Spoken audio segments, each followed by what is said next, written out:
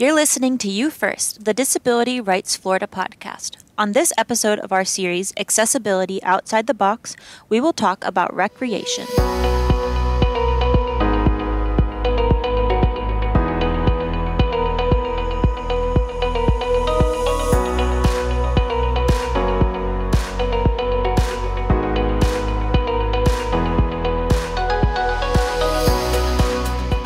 There, I'm Maddie, co host of the You First podcast. Welcome to our fourth episode of our series, Accessibility Outside the Box. Hello, everyone. I'm Keith, the other co host of the podcast. Last week, we had a great conversation with Kathy D. Woods about making fashion accessible for all. Today, we're excited to have two guests on the podcast to talk about various aspects of recreation and how we can make recreation more accessible for all, especially for people with disabilities. That's right. First, we're going to talk with Ashley Richmond from Help Us Gather, or HUG for short, about their organization, beach accessibility, and how to make recreational events accessible. Welcome, Ashley. Thank you so much for being here today. So let's get started and talk a little bit about yourself and your organization. Thank you so much for having me. Yes, my name is Ashley Richmond, and I work for Help Us Gather, or HUG for short. And HUG is a nonprofit that advocates for inclusion and connects people with disabilities to social events and activities. Thank you so much for being here. So, as you just mentioned, you started talking about inclusion. So, let's start there.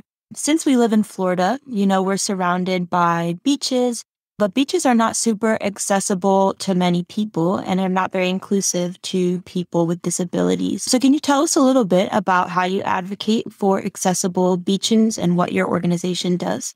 Yeah, yeah, like you mentioned, um, a big part of HUG's mission is to advocate for individuals with disabilities in whatever form that may take. So, in our area and in many areas in Florida, we've had beach wheelchairs for a while. Those do come with issues. They can be hard to track down. If there are only a few, they may not even be available on a busy beach. Or for individuals who can't leave their wheelchair or powered chair, those who are not ambulatory, it's really not a solution at all for them to be able to move into a beach wheelchair. So for a while, we we didn't really know what a solution would be. We felt pretty stuck. Luckily, a couple of years ago, we discovered on Treasure Island MobiMats. We had no idea these existed until an advocate in our area who actually has a traumatic brain injury called us up and told us about this mat, uh, mobility mat, brought us out there, and we were amazed by what an incredible solution this was. We saw not only individuals in wheelchairs using the mobility mat, but our elderly population in Florida, anyone with any sort of mobility issue, even someone with an injury, someone who uses a walker. We even saw a lot of families out on the beach using it with their stroller with children. So we were amazed by how useful the solution is. There's no one size fits all solution, but the mobility mats really do serve such a broad audience. And so we were looking into why don't more cities have these and realized that the issue is twofold. So the cost is a major factor. And then also just the amount of red tape. You have to submit a permit. There's you need engineer drawings. There are a lot of steps to get a MobiMat approved through the Florida Department of Environmental Protection and through the Fish and Wildlife Commission. So, our goal when we learned about this issue was to help solve the funding problem, which we've done thanks to a partnership with the Forward Foundation, which is a private foundation offering to fund MobiMats. And then we got together in our community here in the Tampa Bay area. We got together at least 20 mayors of beach communities who wanted to learn more about this issue, wanted to bring MobiMats to their city or community, and just weren't sure how to get through all that red tape. So we've been working really hard to make it as easy as possible. And now that we've talked with these governmental bodies about our goal and our mission and our willingness as communities, our willingness to meet them halfway and explaining that this is just a big step for advocacy, they've really been great to partner with. I think it's different when you work for a governmental body and you get an application for a MobiMat. Maybe if you don't know what MobiMats are or you're not super comfortable, you don't understand how important they are to the community. We've had a lot of communities tell us their applications were just rejected and they didn't know why. So now simply partnering with these governmental bodies and having contacts there who understand how important this is has made a huge difference. We've seen a lot more permits getting approved now. The process isn't taking as long as it used to. So that's a huge part of what we do at Hug is just being that middleman between communities that want to be inclusive, but they aren't sure how or they can't afford it, and governmental bodies who also want to be inclusive, but just maybe didn't know how to get there. So we're really proud of the advocacy work that we've done, and we're making a lot of progress. It is still a slow process. It's a three month approval time on average for a MobiMat once the engineer drawings are done, once the city approves it and it's sent to the state. So it can be lengthy, but we had our first ribbon cutting two weeks ago and many more in the pipeline now that they're all coming through. Thank you. We're really excited. Yeah, it's wonderful. Yeah, that's incredible. Thank you so much for that persistent advocacy and showing how partnering with local folks, government leaders, community leaders can really make a huge impact on the access that not only y'all have been able to achieve, but creating that access for other folks that may have not understood why these applications were being denied. I wanted to touch on something that you also brought up that accessibility really benefits so many people. It's not just these MobiMats that are going to be helping folks with disabilities. It's families with strollers. It's folks maybe trying to get down further on the beach with their beach bikes, things like that, that a lot of folks don't think about how these accessibility options are really going to benefit everybody. So I wanted to ask, how do you often get the word out to folks about these accessibility options when they're going to become available in their area and how that can best help them?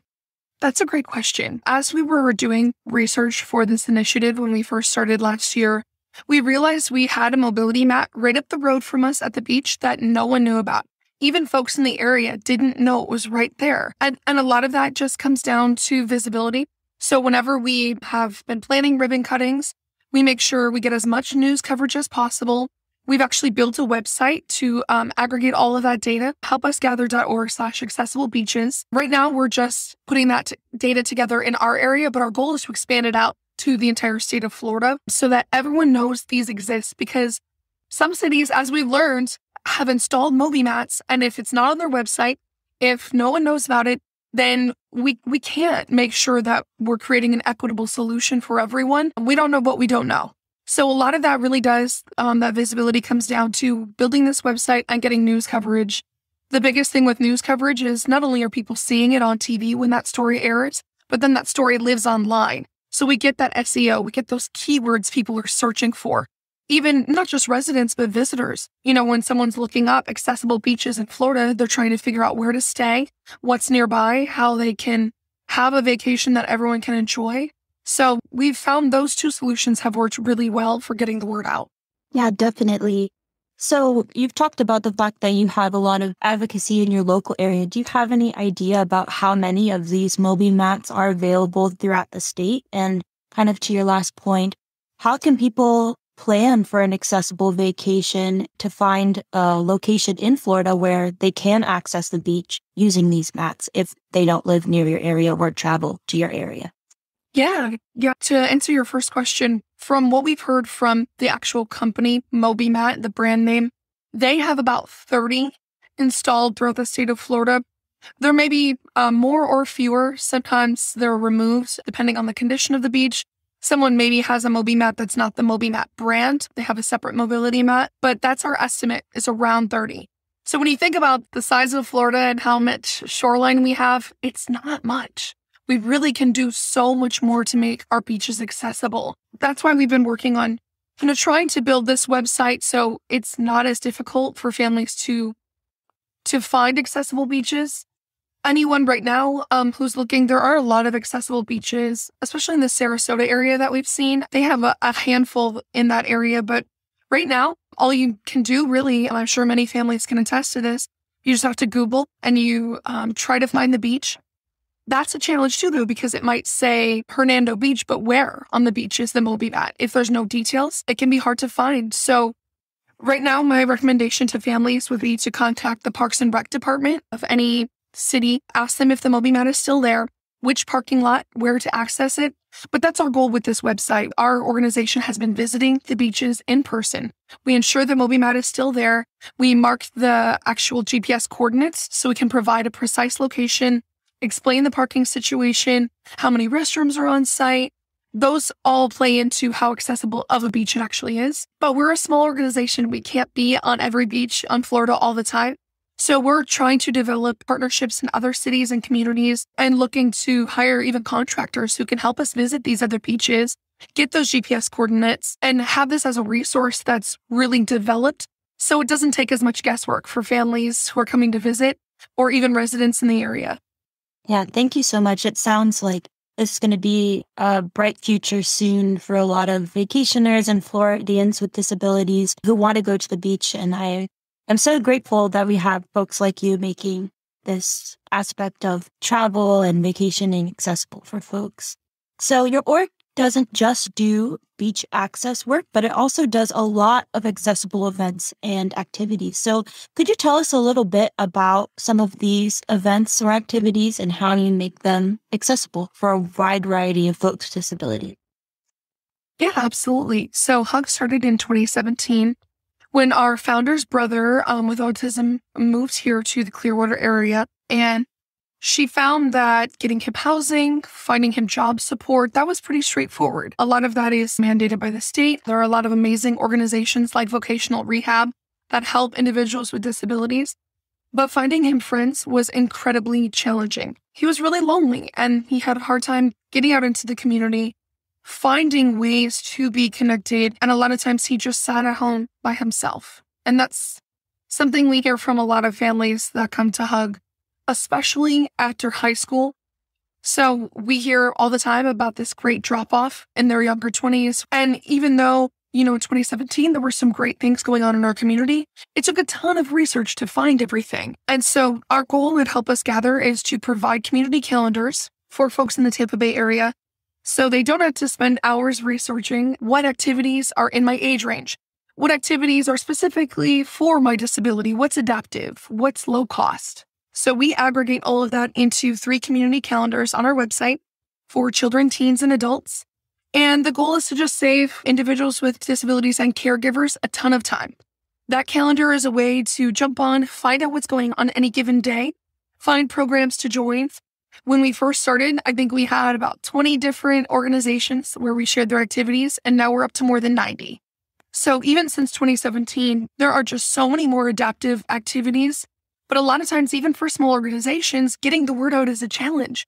You have a limited or no marketing budget. So that's our goal is to act as that landing spot to provide a free method for users and for organizations to get connected and to make sure no one in our community has to feel lonely simply because they have a disability. Community is so important. And I find that a lot of folks sometimes underestimate how important community is and access to the community and friendships and activities that are accessible for people with disabilities. So, could you tell us a little bit about some of these partnerships you've made with some of these organizations? You mentioned over 90 organizations that provide accessible options and low cost options for a variety of disabilities. What do some of those look like? What activities are out there? There are so many. We're really lucky. There are some great nationwide organizations like Special Olympics. We've shared their programming and how to get involved but even some smaller community resources. We have adaptive gyms for children, even parenting courses for parents with young babies. Inclusive events are becoming much more popular, which is amazing to see. You know, we've got adaptive kayaking, even just social events. It doesn't necessarily have to be centered around a sport. A lot of times there are just social groups. There is an organization around us that does a Friday night dance party every Friday. Um, and it's for all ages sometimes that's what you need is just that outlet to get out and let loose and have fun and meet people in a welcoming space. I think we all learned throughout the pandemic how isolating it can feel really quickly when you don't have a social outlet, when you don't have opportunities to leave your home or your circle goes really wide to really small. It felt like that happened overnight. So we all had firsthand knowledge of how it feels, that socially isolated feeling. It's not just um, an emotional impact, We've seen a lot of research that it impacts long term health, it, even just hope. We know the power of hope. And I'm glad that other organizations in our community are seeing that power because truly a lot of activities are easy to make adaptive. And so we're seeing a lot of even traditional organizations that didn't host adaptive events now are. So it's an incredible change. Obviously, there's still a lot more we can do and we want to do, but we're seeing since 2017, since Hug's inception, a lot of, of change that makes us hopeful for the future. Yes, and your work just truly emphasizes the fact that advocacy has such an impact and inspires other organizations and folks to do the same and recognize their place to create their own spaces to be accessible. So, to that, how can folks implement accessibility and what small steps can they take in their own lives to advocate for accessible recreational options? Absolutely. That's a question that we get a lot in our traditional Hugway. We've created a website where people can find that information. It's um, another branch of what we do. It's called weinclude.org. And we've compiled resources for businesses, schools, and individuals um, on how you can be inclusive in those different spaces. A lot of it just comes down to asking the question. For many people we've spoken with, you don't know what you don't know, right? And so if you don't know how to be inclusive, you didn't know you needed to be inclusive, the steps can be really easy. We've helped a lot of businesses in our area install ramps, or we've talked to a lot of businesses about sensory triggers and, and how to solve those issues, communicating with individuals in different ways. So, having that phone number someone can call, or having that menu that you can email, having a menu that's all in text form instead of just a PDF version of your menu. Even those small things that you might not realize help you become inclusive. So there are a lot of different ways that sometimes when we talk about inclusion, it can sound like this huge, difficult concept and, oh, that'll be too expensive to implement, or oh, that doesn't impact us. But you never know what barriers your business or or organization um, or even school, you know, might unintentionally be putting up. So th- that's why we've compiled those resources. And, um, you know, in individual lives, I think what we've seen works is just not treating individuals with disabilities like they're invisible, because otherwise we create an entire generation of people who feel unseen. And that leads again to social exclusion, to isolation. So just by looking someone in the eyes and having a conversation with them, that goes a long way. I think to your point, being accessible and being inclusive, it's an action, it's an act of love, and it's something that has to continue forever. You don't achieve accessibility in one day. It's molding, it's changing. And as people need certain things, you have to adapt and commit to accessibility. And I just want to thank you so much, one, for being on this podcast today, but continuing to not only provide resources on your own website, but you know, sharing these educational and advocacy resources to other folks that are trying to do their best as well. And I know that Florida has a better future with folks like you. So thank you so much, Ashley. Thank you so much. And thank you so much for spreading the word.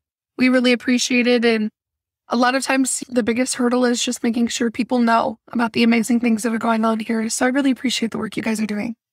Yes. Thank you so much. It was great talking with you. Thank you. You as well.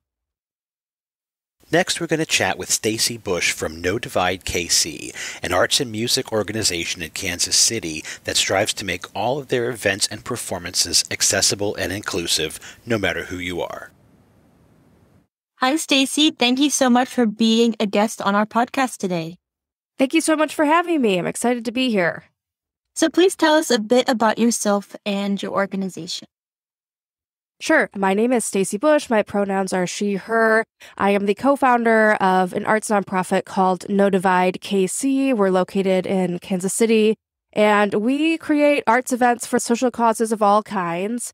And our mission statement is to share the stories of those that are misrepresented or underrepresented in our community. So we do all types of things. We're not allied specifically with one issue or cause. Our main objective is to create arts events that are accessible, that are inclusive, and that are very high quality as well.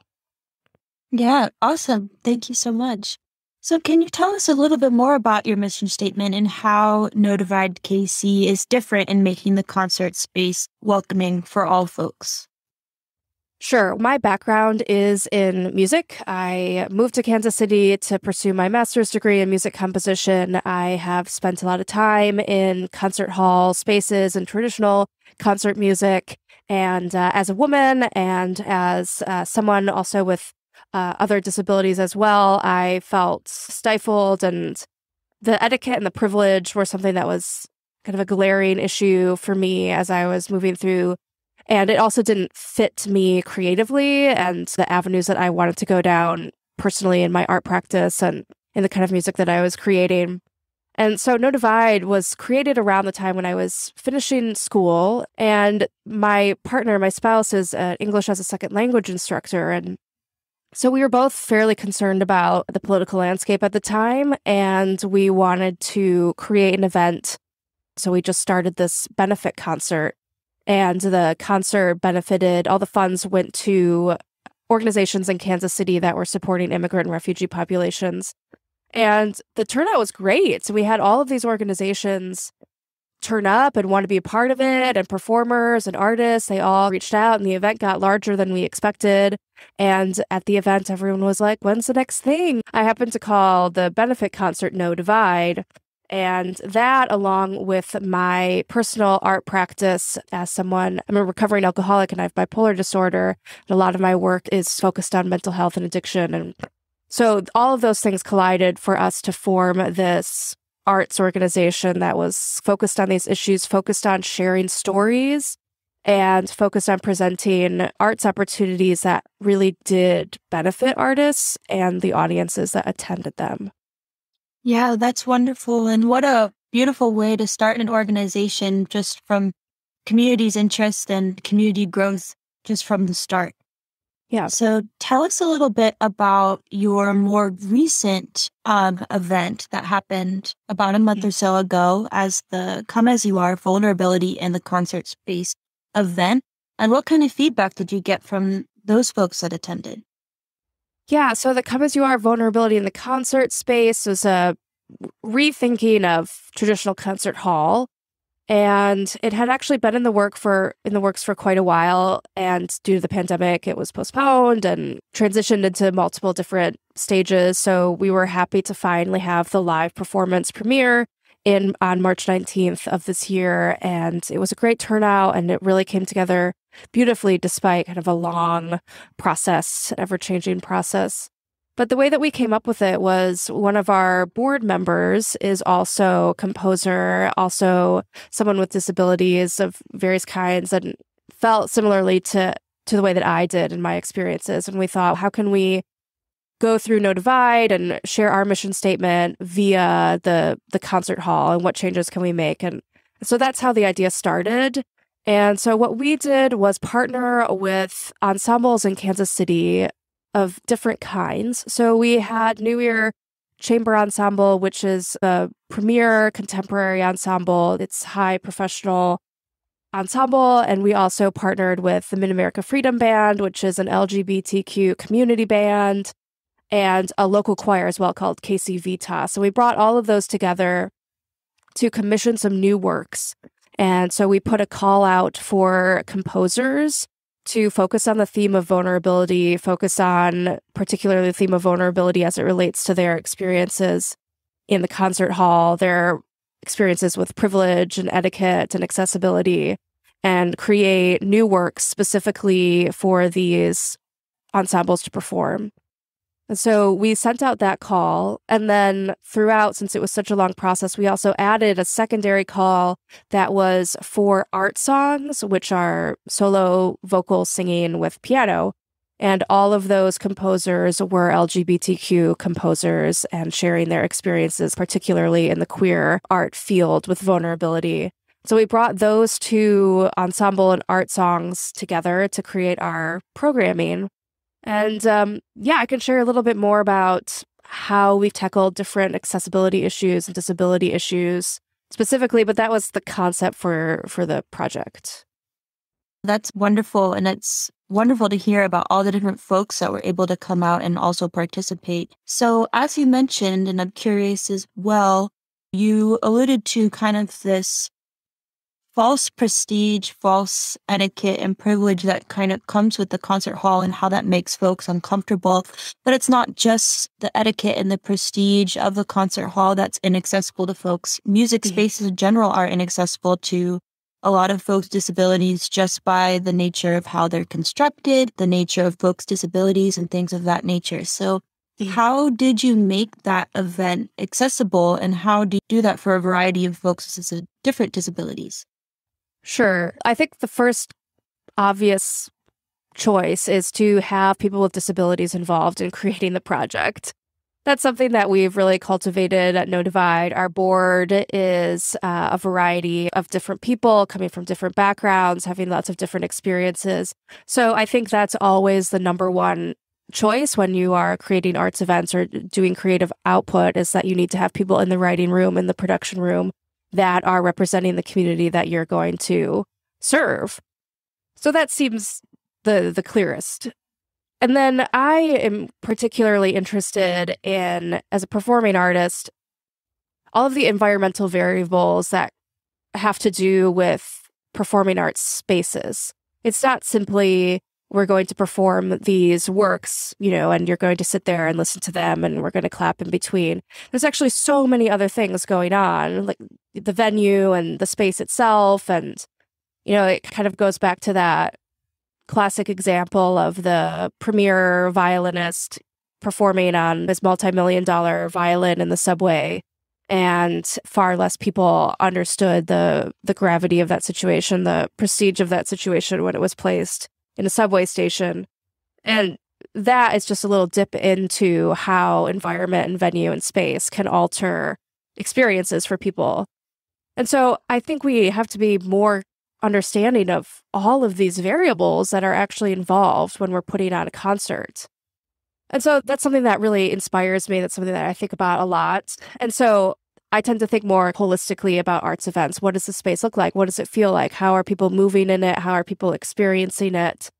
And the other kind of easy thing to do is just research, see what other organizations are doing, get involved with the organizations in your community that are serving um, those populations and see what they're doing. And so we came up with a few different things. The first of which is just to find a venue that's ADA compliant.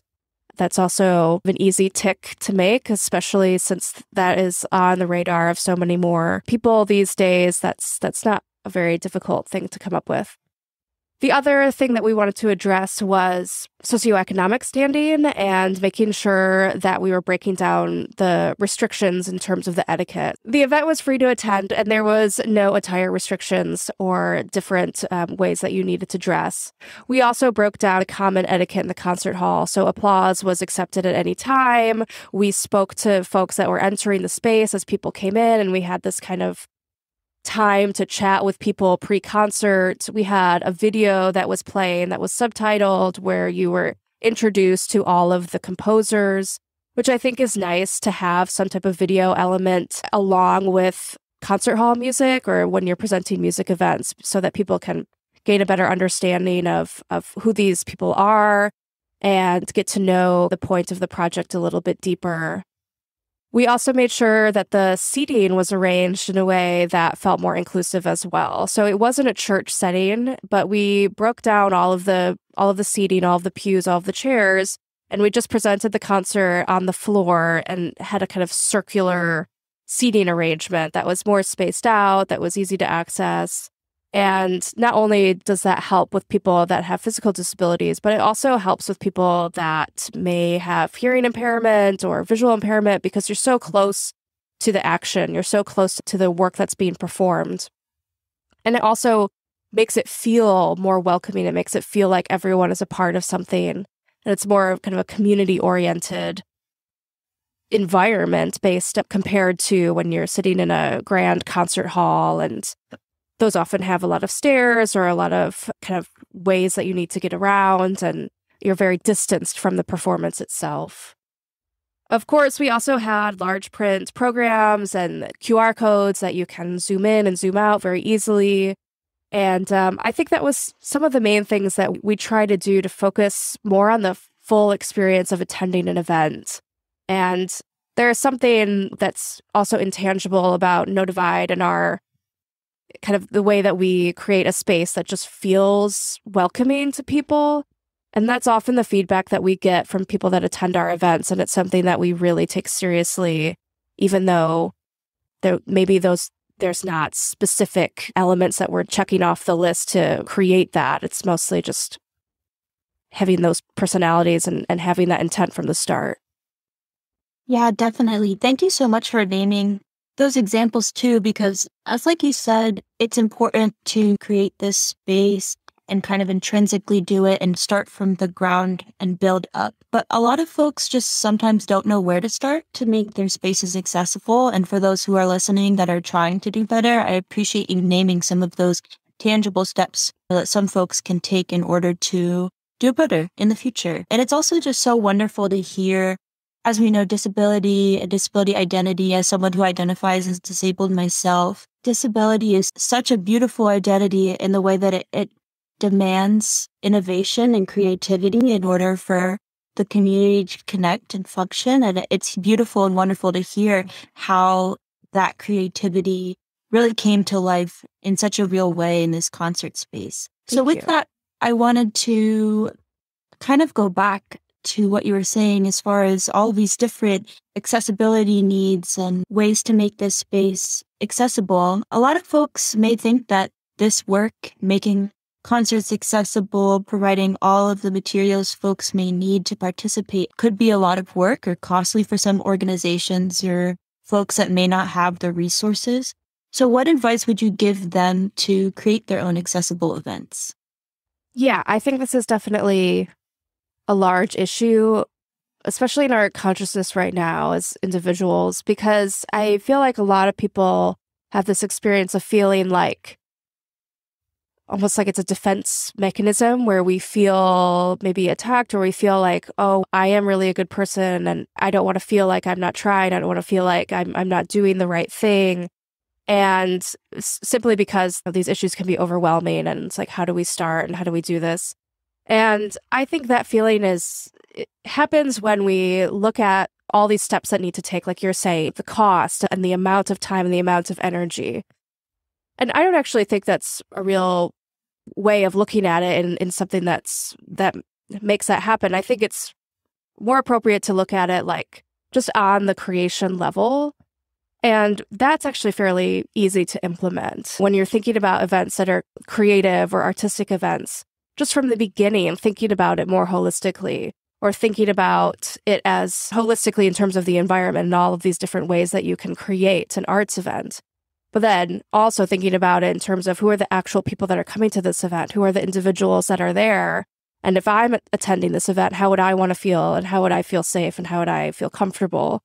And those questions, just thinking about those things on the beginning end, that's not costly and that's not coming up with a lot of energy or or difficult. So I think that's actually the main thing that is that is accessible to everyone. And I think it also eases those tensions. Also to understand that th- this there's not like an ending point to this. There's not people that are doing it correctly and people that aren't doing it correctly. You know there's this is a never ending process of us learning and growing.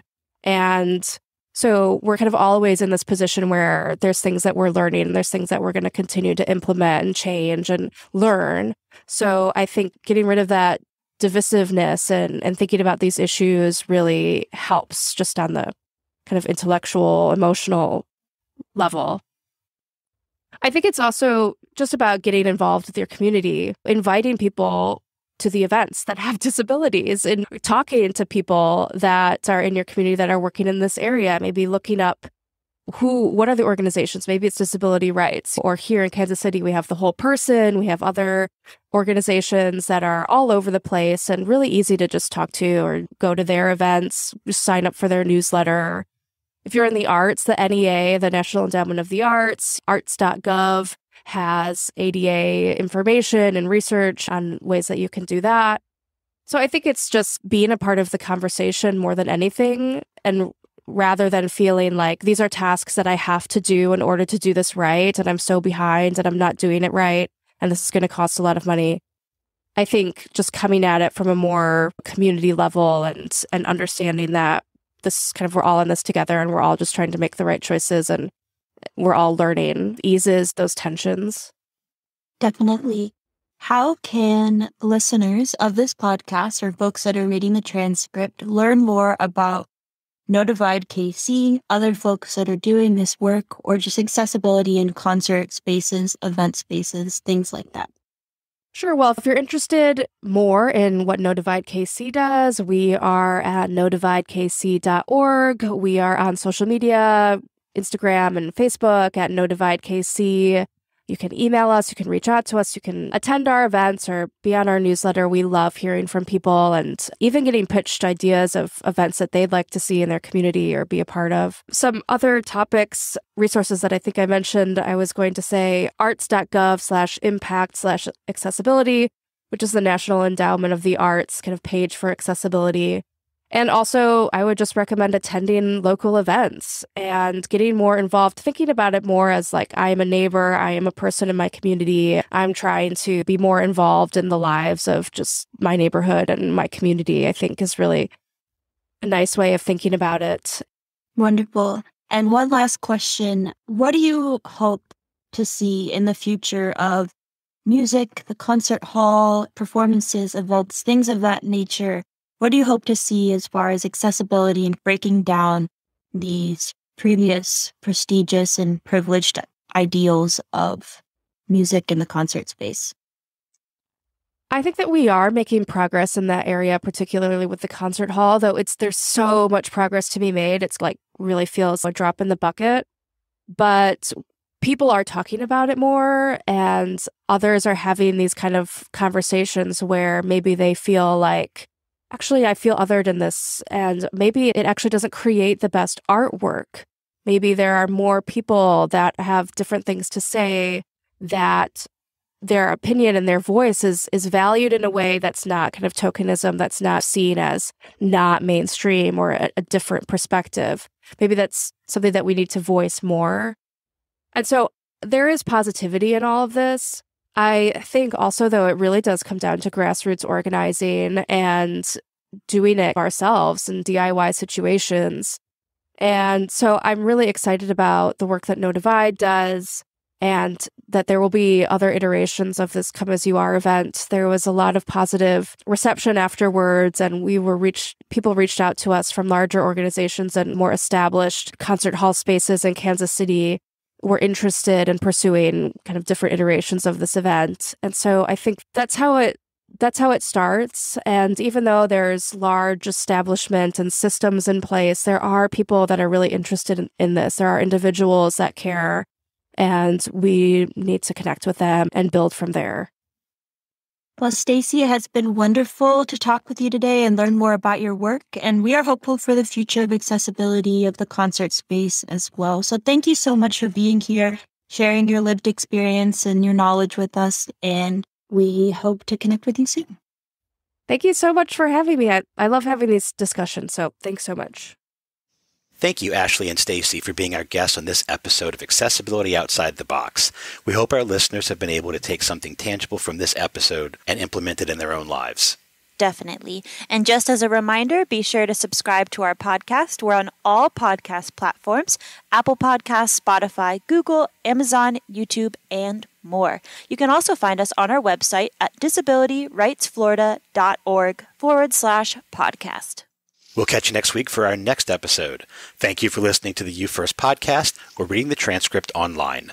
Please email any feedback, questions, or ideas about the show to podcast at disabilityrightsflorida.org. The You First podcast is produced by Disability Rights Florida, a not for profit corporation working to protect and advance the rights of Floridians with disabilities through advocacy and education. If you or a family member has a disability and feel that your rights have been violated in any way, please contact Disability Rights Florida.